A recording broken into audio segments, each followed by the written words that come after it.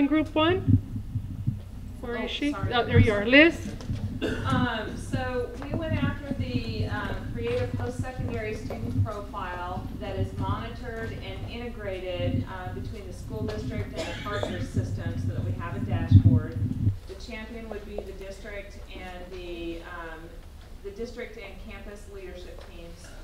Um, the measure is, uh, based against that electronic profile, uh, that a student would have an asset map, um, and, uh, San Antonio Education Partnership has talked about a certification that would then be honored by, um, partners, uh, IHE partners. Um, the second strategy had, had to do with that, and it would be to, um, address both content and college readiness indicators that came up either in the red or the yellow. We were, our measure would be a red, yellow, or green dot. If it's green, the student's good on that particular measure, and we have a, we have an example over there. If they're yellow or red, that would, that would cause some kind of a, an alarm bell to go off. And then we, we would, um, basically work with that student, uh, and service providers to get them either caught up to take the SAT, studying, whatever they needed to. Um, the alignment would be improved college readiness.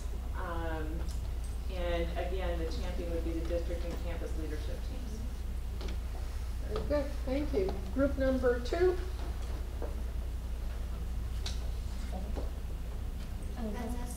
I'm all- I've been used to four all day, I'm sorry. that's my fault. Um, we're the counseling component of this thing. The, um, strategy that we had was basically an implementation of a comprehensive curriculum guidance program. This really isn't anything new, it's not a new strategy. Um, our, our issue was more so that, um, we would need to basically reduce or eliminate non-essential duties that we have on campus and have a little bit more role clarity to implement what we're trained to do already. So, um, so we would want to basically implement what we already have in the line. The activities we would use would be uh, classroom guidance for K through twelve. Um, we talked about a champion for the cause, and basically we all have a director of guidance in our districts. But if we want to come together and collaborate, it would be more, um, more so somebody like a Region Twenty representative, like Pam Chambers, or somebody like that. Um, how we would measure this would be more number of classroom visits, number of students served, and the, um, the alignment with the diplomas and the SA twenty twenty would be the uh, eighty-five percent student demonstration of college readiness. I am going to need your forms, so if you could just kind of flesh it out and make sure I can read the handwriting. All right. Group number three? It's about to appear on the screen. Very good. Digitally ready.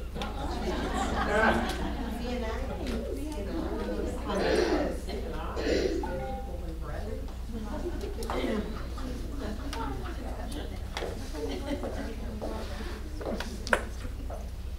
I'm not sure I can see it from there.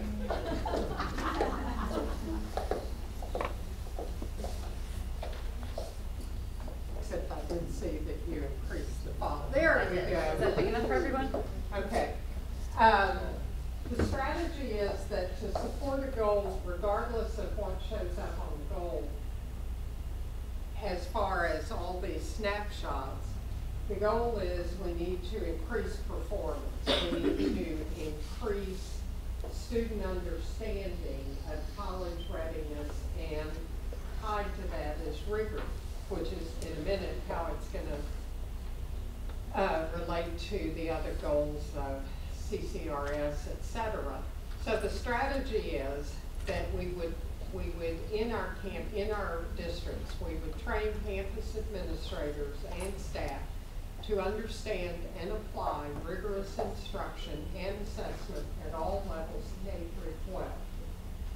And the activity is that we would use existing, but also, well, I'll get to that, professional development for both administrators and at the teacher level. Region twenty has a, what I understand is a superb understanding and identifying rigor program.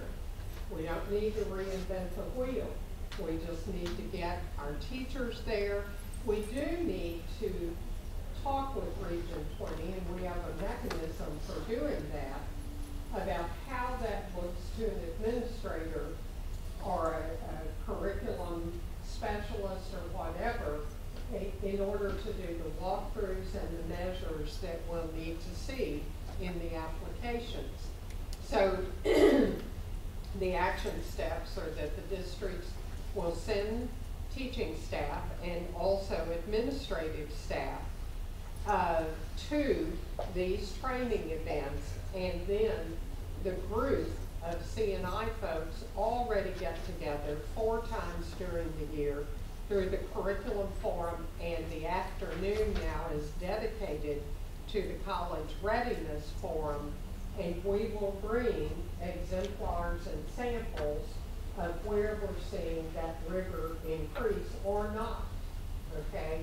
And that'll be a, a source of conversation and share out. We, um, we already have some of those mechanisms. SA Ready is, and Pathways now are merging their lessons. And so the teachers will have available lessons that we ought to be able to see adapted in our classrooms. And, um, that's the, that's the measure we will use. So it will also come out in eighty-five percent passing or meeting metrics on the SAT, ACT.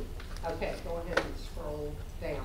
It will also enormously help the AP readiness, and uh, we particularly thought of Southwest and the fact that you all are rolling in with your, um, with your College Board Springboard curriculum. So our champion is really the mechanism we already have in place, SA Ready and Region 20. And Sarah McAndrew is heading up SA 20 along with Gen Texas, et cetera, and is also working with Pathways where these groups merge. And then you add in the Region 20, and Jeff is going to talk tomorrow. Uh, So the time frame is we're going to start look, looking for measurables and checking our, the pulse of where we are on this through August of 2013. Uh, we're going to look at the percentage of administrators and teachers who have attended the training, uh, implementation back in the classroom through walkthrough data, sample work that illustrates the rise of rigor, incorporation of discussions of rigor into department chair meetings so that when Dennis Alexander has his, all of his high school campus chairs sitting there, rigor is on the agenda and, and ways to increase rigor. Uh, I forgot where I was, uh, Region twenty, math board, and all those places that we're gonna look. The alignment, it's already aligned with SA twenty twenty, certainly with diplomas and increasing scores in the CCRS. So it's, it's a pretty high alignment, I think. Thank you very much. Group number four?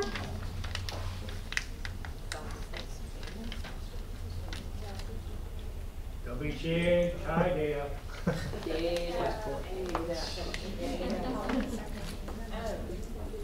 Basically what we talked about.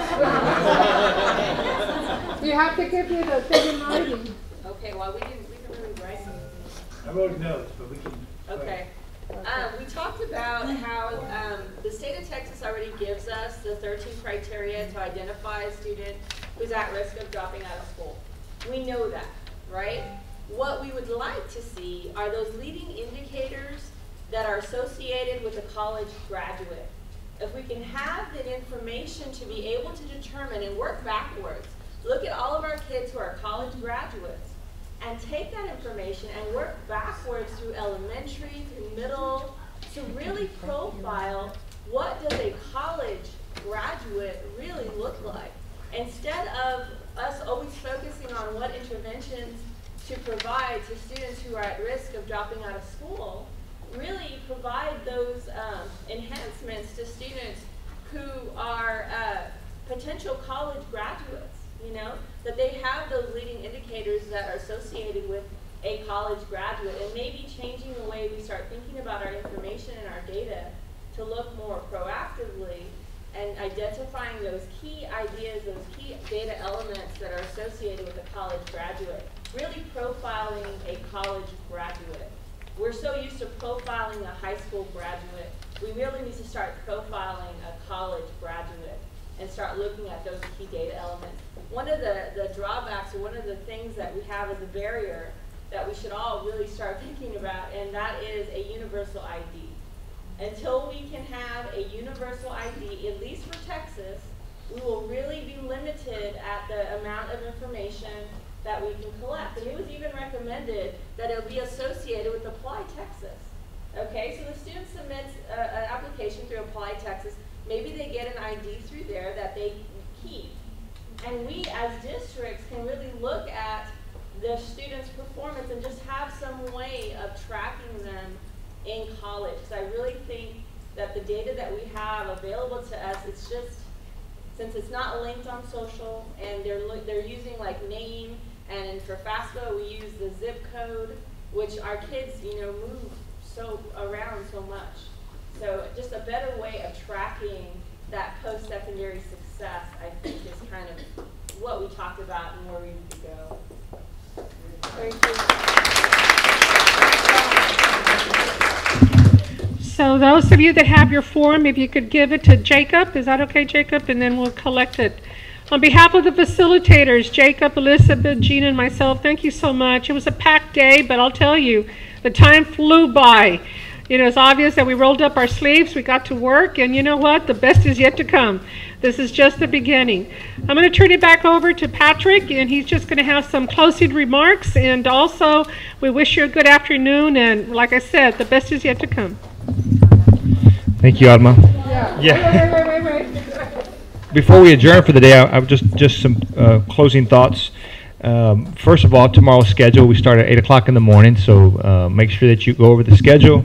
Uh, we will be here at eight, and then uh, we also have uh, Greg Darnieder will be sharing some stories from the road with us, and then we have a gallery walk that's going to take place where you get to go around and see some of the uh, what the partners are doing that are part of this Diplomas Collective, um, and utilize, if you haven't already been utilizing them, how you can use them to help reach these goals. My, my job, I feel, as the project director of Diplomas is to, is to listen to all this, and then once we go through all this information, is to follow up with each of you uh, through the partnership to find out where we can help you and where we can assist you. So if it was about SAT, I've heard SAT prep and so forth, well, where can we align uh, partners to help you reach that goal of reaching out uh, more SAT preparation to kids, as an example. And so that's what we don't want this to just be, hey, we got together today, and then that was it. And it got, goes up on somebody's wall, and then it never we never do anything with it. So that's my commitment that that we have um, to you. And so again, I want to reiterate a special thank you to Greg Darnieder from the from the White House for being here, and again, he'll be here tomorrow. Mayor Costello will join us tomorrow as well for a press conference. All of this kind of culminates with this this signing of this collective impact uh, agreement.